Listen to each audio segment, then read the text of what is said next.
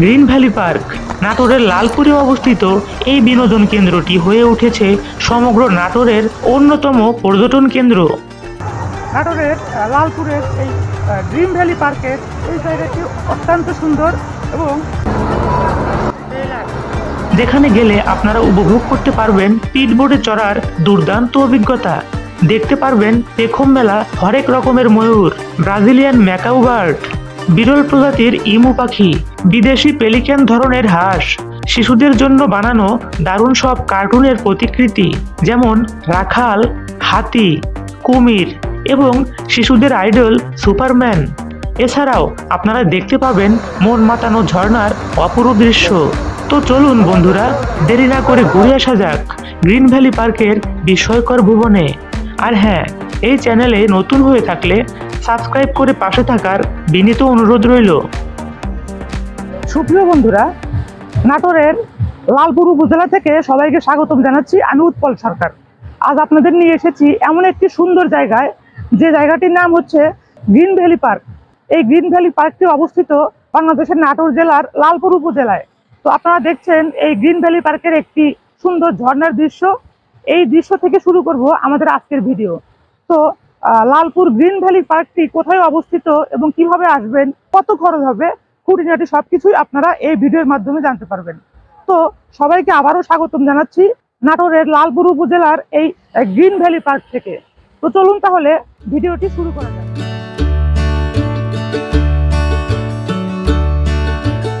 শুরুতেই বলা যাক, কীভাবে যাবেন এইখানে? দেশের যে কোনো প্রান্ত থেকে নাটোরের বনপাড়া বাসস্ট্যান্ডে নামতে হবে। এরপর এখান থেকে সিএনজি বা অটো নিয়ে মাত্র তিরিশ থেকে চল্লিশ মিনিটের ব্যবধানে আপনারা পৌঁছে যাবেন এই গ্রিন ভ্যালি পার্কে। এছাড়াও বনপাড়া থেকে বাস যোগেও আপনারা এখানে যেতে পারবেন।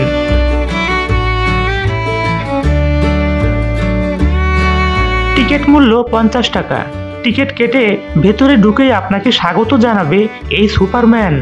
হলিউডের সুপারম্যানের সাথে বাস্তবেও সাক্ষাৎ করাতে পারেন আপনার বাচ্চাকে। সামনের দিকে যাওয়ার রাস্তাটি অত্যন্ত মনোরম। চারপাশে শুধুই সবুজ আর সবুজ। মনে হবে যেন সবুজের কোনো স্বর্গরাজ্যে চলে এসেছেন আপনি। চলতে চলতে বিশাল এক কুমির দেখে ভয় পাবেন না কিন্তু। যাই হোক, প্রথমে আমরা গিয়েছিলাম গ্রিন ভ্যালি পার্কের সবচেয়ে আকর্ষণীয় জায়গা গ্রিন ভ্যালি ওয়েব পোল, যেখানে আপনারা পিটবোর্ডে উঠে দারুণ এক অ্যাডভেঞ্চার করতে পারবেন। রকেট গতিতে ছুটে চলা এই স্পিড বোটে চড়লে আপনার মনে হবে সমুদ্রের বুক চিরে ছুটে বেড়াচ্ছেন আপনি। সত্যি অন্যরকম অ্যাডভেঞ্চারের স্বাদ পাবেন এই স্পিড বোটে চড়লে। জলের ঢেউ দেখে মনে হবে আপনি চলে এসেছেন মহাসাগরের গহীনে।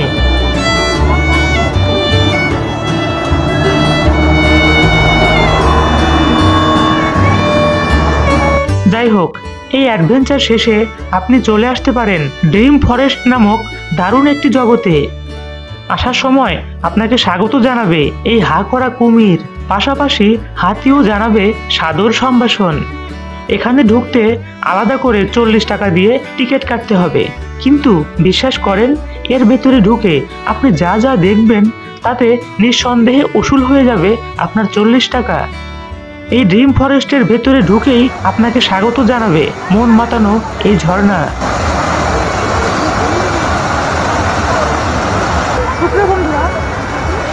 ভ্যালি পার্কের এই ড্রিম ফরেস্ট অংশে ঢুকেই আপনারা এই নামনিক ঝর্ণাটি দেখতে পাবেন এবং এই ঝর্ণার সামনে এসে দাঁড়ালে মনটা এত ভালো হয়ে যায় যে সত্যি কথা বলতে এখানে বারবার আসতে ইচ্ছে করে। নাটোরের আশেপাশে আপনারা যারা আছেন, তারা অবশ্যই এই গ্রিন ভ্যালি পার্কের ড্রিম ফরেস্ট সেকশনে অবশ্যই আপনারা ঢুকবেন এবং এখানে রয়েছে প্রচুর পাখির কালেকশন দারুণ এই ঝর্ণার মূর্ছনায় আপনি হারিয়ে যাবেন ভালো লাগার এক ভুবনে। মনে হবে আপনি দাঁড়িয়ে আছেন কোনো এক পাহাড়ি ঝর্ণার সামনে। চাইলে ছোট্ট এই জিপে করেও আপনি ঘুরে দেখতে পারেন পুরো এই ড্রিম ফরেস্ট এরিয়া। সে ব্যবস্থাও এখানে রয়েছে। এই ঝর্ণার ঠিক পাশেই রয়েছে দেশি বিদেশি বিরল প্রজাতির পশু পাখির সংগ্রহশালা। যা আপনার এই ভ্রমণকে করে তুলবে আরও সুন্দর আরও নান্দনিক। শুরুতেই দেখতে পাবেন ব্রাজিলিয়ান পাখি ম্যাকাও। বিশাল লেজওয়ালা এই ম্যাকাও পাখিগুলো খুবই বিরল। সুদূর ব্রাজিল থেকে আনা হয়েছে এদের। এদের দেখা আপনি কেবল গাজীপুর সাফারি পার্কেই পাবেন।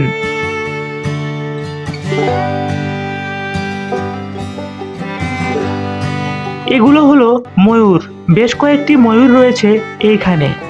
লাল, নীল, সবুজ, হলুদ, সব ধরনের ময়ূরের দেখা আপনি এখানে এলে পাবেন।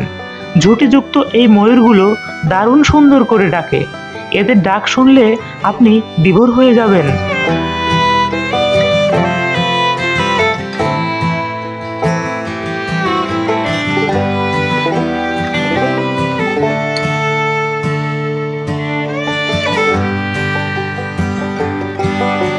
গোল্ডেন সেব্রাইট নামক বিরল প্রজাতির এই মুরগিগুলো দেশের আর কোথাও খুঁজে পাবেন না আপনি। শুধুমাত্র এই ড্রিম ফরেস্টেই পাবেন। দেখতে খুবই সুন্দর।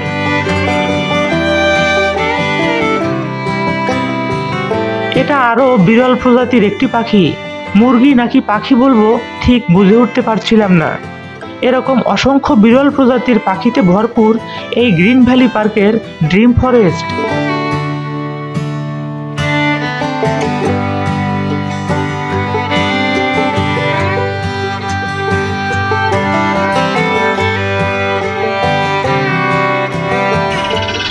বন্ধুরা কত ছোট মুরগি? একদম ছোট্ট এই মুরগির জাতটিকে বলা হচ্ছে শো সেরামা এত ছোট জাতের মুরগি আমি কখনো দেখিনি। দেখুন। অসম্ভব সুন্দর এই পাখিটি, মুরগি বা পাখি বলা হচ্ছে। ময়ূর- ময়ূরের মতো একদম দেখুন দেখুন, আপনারা দেখতে পাচ্ছেন। দেখুন, ও এগিয়ে আসছে। অনেক সুন্দর লেজ। কিছুটা ময়ূরের মতো। এটাও একই রকম, একটু ভিন্ন রকম কালার কত সুন্দর দেখতে। পাখিশালার ঠিক পাশেই রয়েছে মূল চত্বর। নয়ন জুড়ানো এই চত্বরটি এতটাই সুন্দর ও মনোরম যে চোখ মেলে শুধু দেখতে ইচ্ছে করবে, কিন্তু দেখা স্বাদ মিটবে না। আর এজন্যই প্রতিদিন অসংখ্য পর্যটক ভিড় করে এখানে।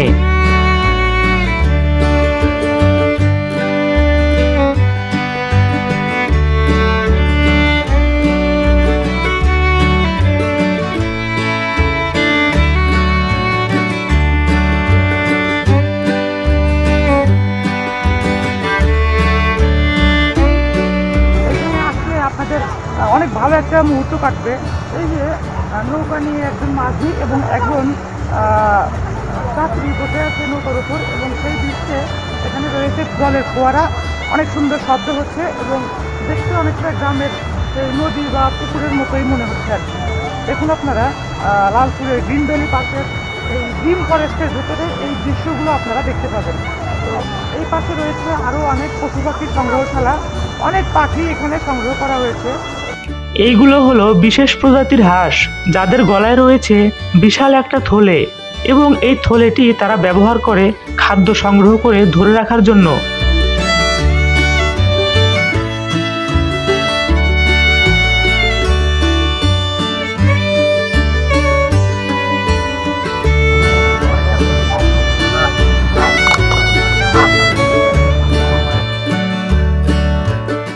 এরকম অনেক প্রজাতির হাঁসের দেখা আপনি এই ড্রিম ফরেস্টে পেয়ে যাবেন।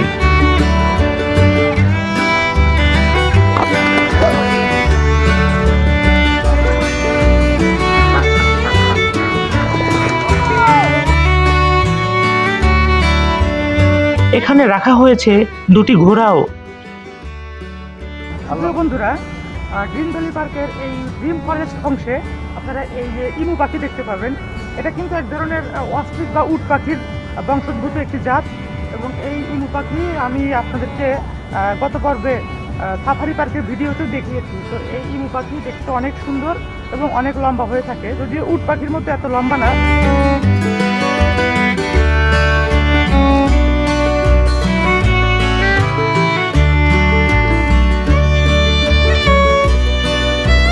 চত্বরের মাঝখানে দারুণ সুন্দর এই পুতুলগুলো সাজিয়ে রাখা হয়েছে। তার ঠিক পাশেই রয়েছে অনেক বড় এই ঝর্ণা। বিশাল এক মানুষের মাথা থেকে গড়িয়ে পড়ছে এই ঝর্ণা, যা মিশে যাচ্ছে ওই লেকের জলে। চলতে চলতে আপনি দেখতে পাবেন নানান রকমের ভঙ্গিতে দারুণ সব পশু পাখির প্রতিকৃতি দেখে হাসি ঠেকিয়ে রাখতে পারবেন না আপনি।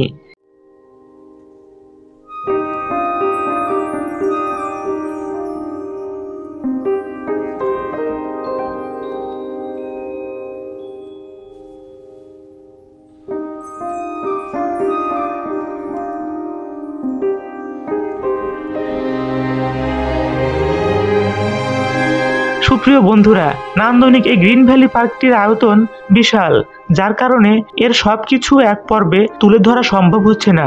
তাতে ভিডিওটি অনেক বড় হয়ে যেত। এগুলো বাদেও রয়েছে আরও অনেক আকর্ষণীয় সব রাইডস, যা আপনাদের দেখাবো দ্বিতীয় পর্বে। কেমন লাগল আমাদের আজকের এই ভিডিও, কমেন্ট করে অবশ্যই জানাবেন। তাহলে ভালো থাকুন সবাই, দেখা হবে আগামী পর্বে।